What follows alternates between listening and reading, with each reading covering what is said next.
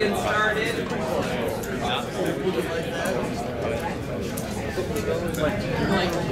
Good morning, everyone.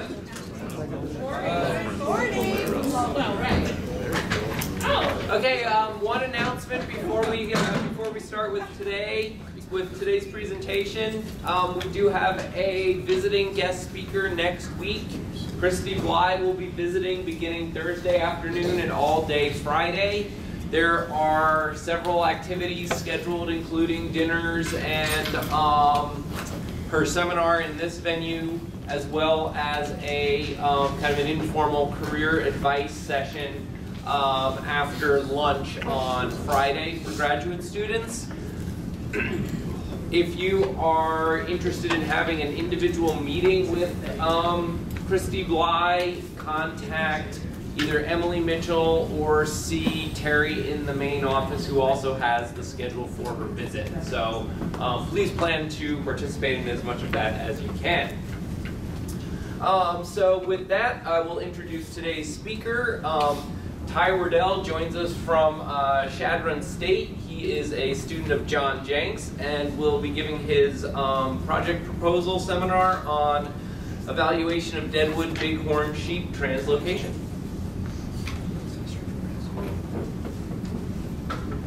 Hello everyone, my name is Ty Werdel and this is my master's proposal presentation. My project is titled Evaluation of the Bighorn, uh, Deadwood Bighorn Sheep Translocation. Bighorn sheep historically inhabited the entire Black Hills region of South Dakota. They were extirpated from the area in the early 1900s due to overhunting. South Dakota Game Fish and Parks have successfully restored populations to the central and southern Black Hills and these are shown in red on the maps, on the map. Uh, Spring Creek, Rapid Creek, and Sheridan Lake herds are around Rapid City. To the south of that is the Custer State Park herd, and then to the southwest is the Elk Mountain herd, which extends into Wyoming.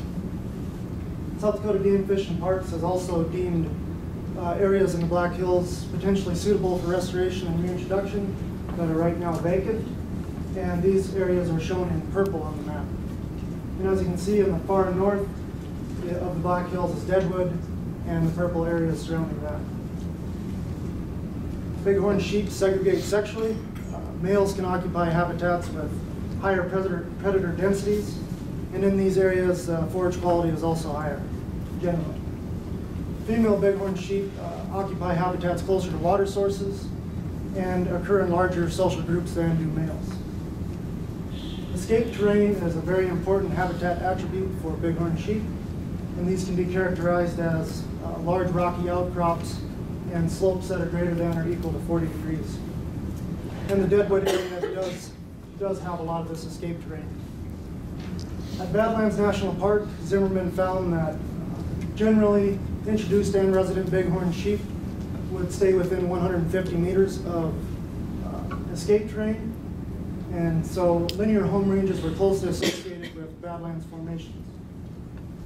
So because of this association between bighorn sheep and escape terrain, it's important to evaluate home ranges using three-dimensional analysis. Disease and parasites can cause significant mortality in bighorn sheep. Uh, there's many causative, disease, causative diseases, including lungworms and bacteria. And when these causative diseases are combined with stressors such as poor nutrition or harsh climate, uh, they can become mortality agents. If uh, bighorn ewes uh, do get the pneumonia complex, the surviving ewes may become immune, but this immunity is not transferred to the lambs. One previous study by Smith et al. in the Black Hills over a three-year period from 2010 to 2012 showed that lamb survival was at 2%. And this was due to disease and predation. However, other studies in the Black Hills on back to bighorn sheep have shown in the absence of disease that lamb survival can be as high as 40%. Cassirer and Sinclair found in their study that pneumonia was the primary limiting factor to uh, population growth of bighorn sheep in the Hells Canyon region of Idaho, Oregon, and Washington. 43% of all mortalities were caused by pneumonia. 27% were caused by mountain lions, but they did not see this as a uh, population growth limiter. In contrast, two uh, separate studies in Arizona and California found that mountain lions were the co- primary cause of mortality. And they also found that uh, harvest through hunter harvest and other removal methods of mountain lions in that area did increase uh, bighorn sheep population. Evaluation of large mammal translocations is extremely critical, and this is due to an expected uh, initial mortality, and that can be due to amount distance we're going to have to translocate them and things like that. There's also a relatively low number of uh, bighorn sheep being initially translocated, and although there is, uh, we did do habitat analysis on this area, there's no historical uh, use information for the northern Black Hills, so the habitat capability is a concern. And then there's also a potential for predation, and that's because we're bringing sheep from a a very different region, down, all the way down to South Dakota, and uh, mountain lions, other predators can hit this, these uh, translocated sheep very hard after release because they're not familiar with the terrain, things like that. Then we also want to provide them time necessary for acclimation. I've also uh, shown a map here of the 2016 Black Hills Hunter Mountain Lion Harvest. And I'm just using this to show you that although the mountain lion harvested, were harvested throughout the Black Hills, there is a good number in the northern hills showing that there's a population of mountain lions in the area. Our objectives are to document survival, health-specific mortality, and to estimate population size of bighorn sheep in the Deadwood area, assess genetic diversity and disease prevalence of bighorn sheep in the Deadwood area, assess movement patterns post-release of bighorn sheep in the Deadwood area, and to evaluate third-order habitat selection post-release, and estimate herbaceous biomass at bighorn sheep foraging sites in bighorn, or in the Deadwood area. Uh, the Black Hills, most of you probably know where that's at, southwest corner of South Dakota, it extends into Wyoming. The South Dakota part of the Black Hills is broken down into three subregions. To the south and the west is the Hell Canyon region. In the central, the central area is called the Mystic region, and then the dark green at the top is the Northern Hills region, and that's where we'll be focused, is the Northern Hills. And the Northern Hills is characterized by canyons, mountain peaks, and broad valleys. Soils of the region include limestones, dolomites, and sandstones of Paleozoic origin. The northern region also receives more precipitation in the form of snow and is colder than that of the southern regions of the Black Hills. The overstory is dominated by ponderosa pine forests, and these usually occur in monotypic stands. However, they can be uh, intermixed with quaking aspen and paper birch. The Grizzly Gulch fire of June 29, 2002 burned for 13 days and consumed 11,589 acres. And this occurred just south of Deadwood and the surrounding area. So what this fire actually did was remove all those stands of uh, pine trees, as you can see in the picture on the left. That used to be mostly uh, pine forest. Just like the picture on the right, that's what a typical Black Hills forest looks like. So this opened up the overstory so that bighorn sheep would have good line of sight for uh, see incoming predators, and that made this area very suitable for, for the reintroduction. So we're going to translocate these bighorn sheep from the Luscar mine near Hinton, Alberta, and that's just north of Banff National Park. And we'll bring them all the way back down to Deadwood, South Dakota. Trip is going to last over 20 hours each way, and you can kind of see, I mapped our route here, that we kind of go off to the east a little bit. We have to go through that specific port of entry when we're bringing animals back. So since it's such a long trip, we want to do this as quickly as possible, hopefully in three days, because we don't want to have these sheep confined in trailers for any longer than necessary. Um, Deadwood does show a high habitat capability for bighorn sheep, and that's based on habitat suitability models and a qualitative assessment of topography, forage, and water that was done by South Dakota Game Fish Department. So our goal to restore uh, bighorn sheep to the northern Black Hills includes capturing 26 bighorn sheep. And among those 26 sheep, we're going to try to get uh, one to two young adult rams, and then the rest breeding age ewes. The reason for young adult rams is because our hope is that they will stay with the ewes throughout the study, and we are assuming that older adult rams would be more inclined to seek out other herds and try to spread their genetics. So at capture, we're going to bait uh, modified drop nets with alfalfa. When the sheep come in to eat, we'll drop the nets and then we'll have plenty of volunteers on hand to run in there uh, wearing their helmets and hobble the sheep and then carry them over to processing stations where South Dakota Game Fish and Parks and myself will be. At processing, we're going to attach radio collars, which will be store on board GPS collars from advanced telemetry systems. We're also going to be taking blood samples. These will be testing disease titers and genetic diversity. Each individual will get ear tags, and this will be useful for identification in the field. Nasal, and pharyngeal swabs will be also used to evaluate diseases. And then we're going to be giving an experimental MOVI vaccination. And MOVI is a type of pneumonia strain that has been shown to be present in the Black Hills.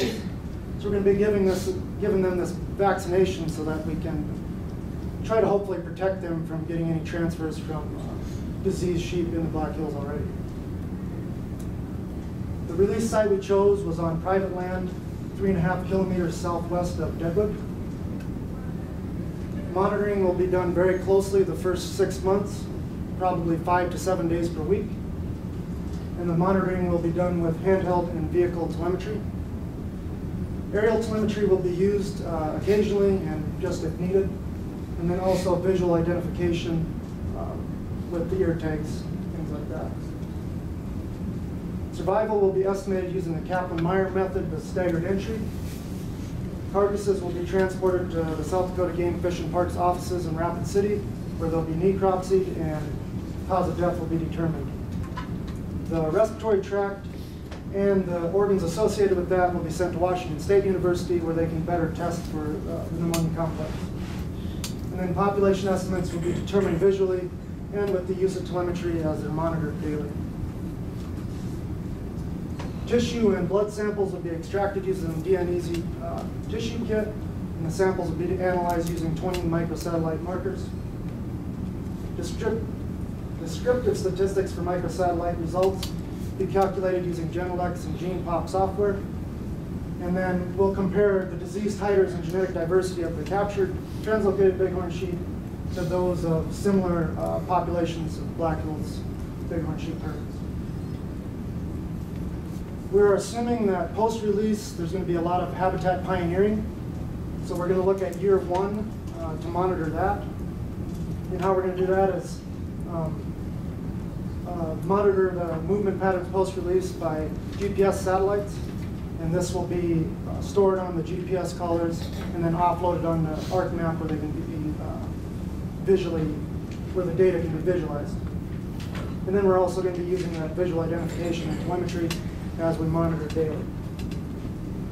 Bird order set, habitat selection will be determined the same way. We're going to be uh, offloading GPS collars, but this will be looking at year two. And the resource selection will be evaluated using design three analysis, which is looking at uh, selection as negative, positive, or neutral on habitat types. Program R will be used to calculate selection ratios and chi-square tests for overall deviation from random macrohabitat types. For vegetative characteristics will be collected along 100 meter transects. Uh, they'll be centered at foraging sites, so they'll be going 50 meters um, both ways. And these will also follow topographical contours of land. So we're going to look at overstory canopy, and it'll be recorded at uh, one meter intervals, and this will be uh, with the use of a GRS densitometer. Percent canopy cover of the total herbaceous cover, grasses, forbs, and shrubs will be estimated at in 0.1 meter square quadrants at three meter intervals, and this is also known as the Daubenmire method. Aspect will be recorded with the compass. Percent slope will be recorded with the clinometer. And distance in meters to the nearest escape terrain, which if you remember was the rocky outcrops, and slopes greater than or equal to 40 degrees, that'll be recorded with a rangefinder. Down woody debris will be interpolated using a pictorial guide, and that'll be provided by Black Hills National Forest Service. Visual obstruction from vegetation will be recorded with a modified Robel pole. And if you're unfamiliar with the Robel pole, it is just a pole with alternating black and white bands, 1.27 centimeters thick. Then we'll have an observer kneeling four meters away they look at the pole and it'll be numbered, and then they record uh, how much obstruction the vegetation uh, shows on the pole. We'll also clip vegetation uh, at ground level using 0.25 square meter circular plots at 20 meter intervals. And then this clip vegetation will be oven dried at 60 degrees Celsius for 48 hours and weighed to the nearest 0.1 gram. Then the Robel pole measurements will be correlated with the clip dried herbaceous biomass, and that'll be used to estimate standing herbage. So our goal is to provide an evaluation of a newly established bighorn sheep herd, and that's based on acclimation, their survival, their movement patterns, and habitat suitability. We're also going to look to address uh, the success of the tr- uh, transplant by providing recommendations on future transplants and determining the carrying capacity of the region. I'd like to thank the South Dakota State University Department of Natural Resources, my advisor, Dr. Jonathan Jenks, South Dakota Game Fish and Parks, and especially John Kanta, Trenton Haffley, and staff. Any questions?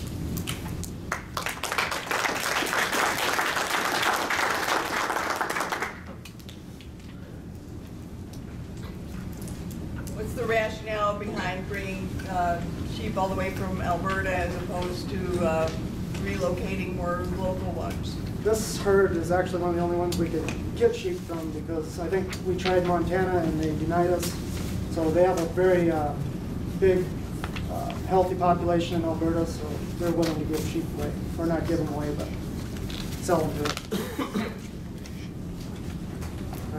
So I'm curious about how, how you're choosing, how they're gonna choose the individuals that are gonna come. And, because I was curious about, uh, you said, I'm curious about the genetics you're gonna bring in. And are you gonna bring in a bunch of inbred animals? And, or how does this work and, uh, in terms of how you plan to kind of combat that potential issue? Well, the- Like I said, the Alberta population of Luscar mine is very large and very healthy. Okay. So when we drop the net, there's probably gonna be fifty or sixty sheep under there. We're gonna try to select the healthiest ewes, and then also, we're gonna let, let the larger rams go, and we're gonna capture the younger rams that look nice and healthy, and those are the ones we're gonna choose.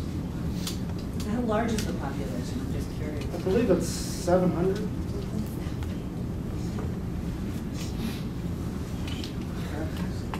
Uh, you said you were um, developing and trying to define success. Like, what's your criteria for a successful translocation?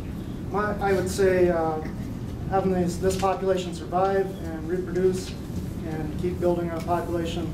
Maybe, uh, in the future, being able to translocate sheep from Deadwood to other populations of Black Hills that might need, uh, a healthy reintroduction.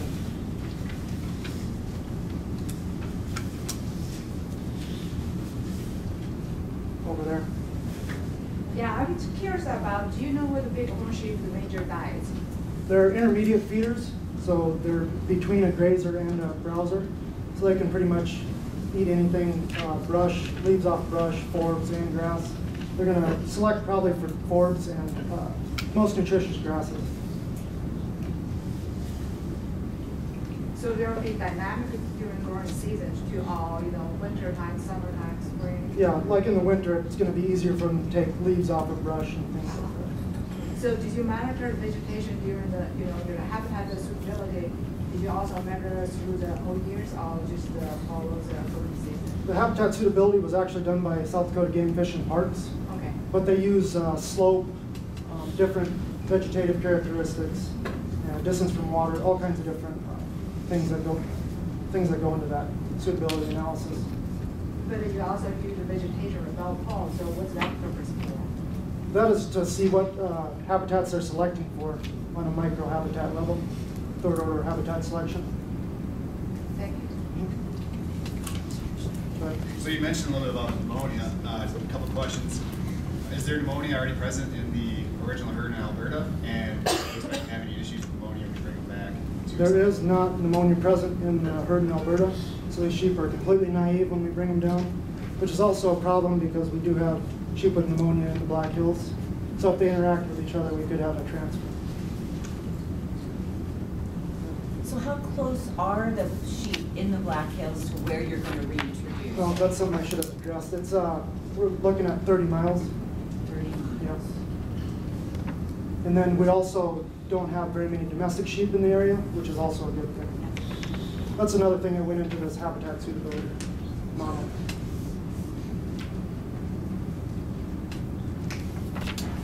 You mentioned uh, radio as well as satellite collars. What's your sample size for uh, the satellite collars? We're gonna be uh, attaching twenty-six. Twenty-six. Okay, so all of them. Yep. So then what specifically is your role in this project? Because I understand the collaborators have done the vegetation analysis. Well, I'm actually doing the vegetation analysis on the microhabitat level. So Okay. They did it overall in macrohabitat to see if this area was good to release them into. Then within that, I'm gonna see what they're selecting for within that. Got it, thanks.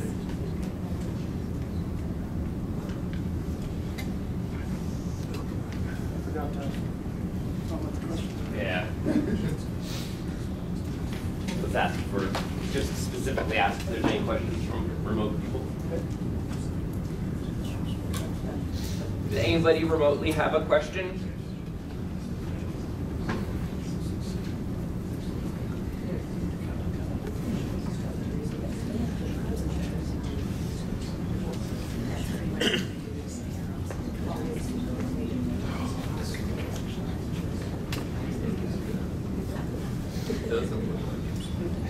Any other questions from the audience here? All right, everyone, let's thank Ty one more time. Okay, don't forget Christy Bly next week. Thanks, everyone.